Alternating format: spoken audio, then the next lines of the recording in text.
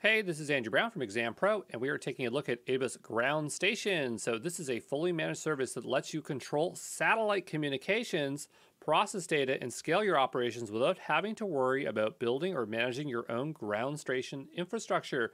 And so, when we're talking about ground station, a really good way to cement what the service is is just think of a big antennae dish that's pointing into the sky, trying to communicate with satellites, because that's essentially what the service is doing. So, the use cases here could be for weather forecasting, surface imaging, communications, video broadcasts. And to use ground station, the idea is that you would schedule a contact. So, that's where you're selecting a satellite, a start and end time, and the ground location and then you use an AWS Ground Station EC2 AMI and Amazon Machine Image to launch EC2 instances that will uplink and downlink uh, data during the contact or receive downlink data in an Amazon S3 bucket.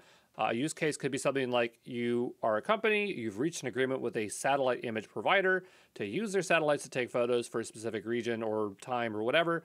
And so the idea is that you are using AWS Ground Station to communicate uh, to that company's satellite and download that S uh, that image data to your S3 bucket. Okay.